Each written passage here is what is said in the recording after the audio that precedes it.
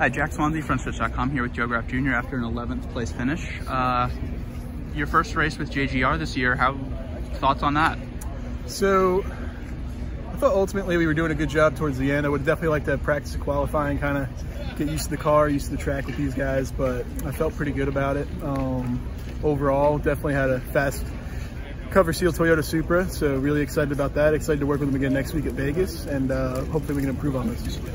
And they're we're not coming back to this racetrack, but uh, thoughts on racing here one last time? You were in the last race. Yeah, I was, I was, I was super grateful to be able to be in the last race here. This is uh, it's one of my favorite tracks, and definitely um, upset we're not coming back here. I think, uh, I think the racing's great, but I understand it. So happy to be a part of the last race.